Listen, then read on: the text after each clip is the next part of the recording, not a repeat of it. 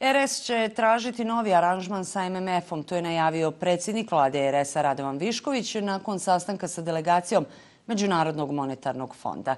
Federacija mjesecima unazad kaže da nema potrebe za zaduženjem. Ekonomisti tvrde da je za zaduženje potrebna saglasnost države, a ne entiteta. Premijer Republike Srpske istakao je da postoji opredjeljenost vlade Republike Srpske po pitanju saradnje na potencijalnom novom aranžmanu sa MMF-om, kao i da je stav vlade Republike Srpske da sve reforme treba da budu u skladu sa ustavom ove zemlje i sa akcentom u ekonomskoj sferi. Iz misije MMF-a u Bosni i Hercegovini kažu da postoji mogućnost da se u narednom periodu razgovara o potencijalnom novom aranžmanu, ali da tome prethodi zvaničan zahtjev ispred svih nivoa vlasti u Bosni i Hercegovini. Ekonomistkinja Svetlana Senić podsjetila je da je Bosna i Hercegovina već imala aranžmane sa MMF-om. Uslovi su jasni. MMF ne daje sredstva samo jednom entitetu. MMF ne daje sredstva ako nisu oba entiteta u pitanju, odnosno država.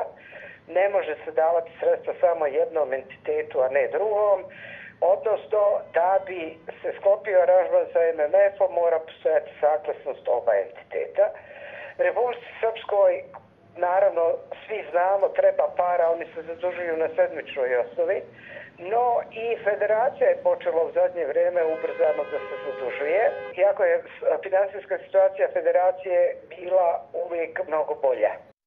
Premijer Republike Srpske tvrdi da je Republika Srpska fiskalno stabilna, da nema kašnjenja u isplatama iz budžeta koje se odnose na plate, penzije i socijalna davanja, ali da je bilo određenih korekcija po pitanju određenih grantova i u budžetu za 2023. i za 2024. godinu.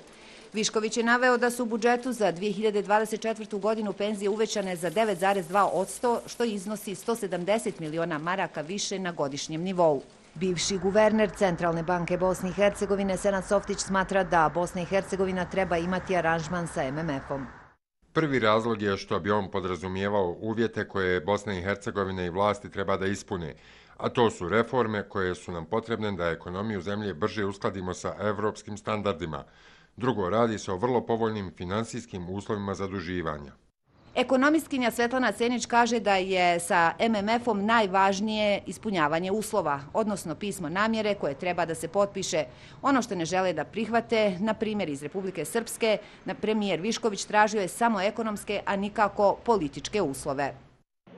Da će Araban sa MMF-om biti neka vrsta trgovine između entiteta, jer kao što vidite, koalicija na državnom nivou, predstavnici federacije Bosne i Hercegovine mnogo su ustupaka uradili i sad verovato će nešto tražiti za uzvrat da pristanu na aranžman sa MMF-om s obzirom da Republike Srpskoj gori. Podsjećamo, samo dva aranžmana sa MMF-om bila su ispunjena u cijelosti. Svi ostali su završeni uzimanjem novca i zaustavljeni kada su trebali ispunjavati uslove.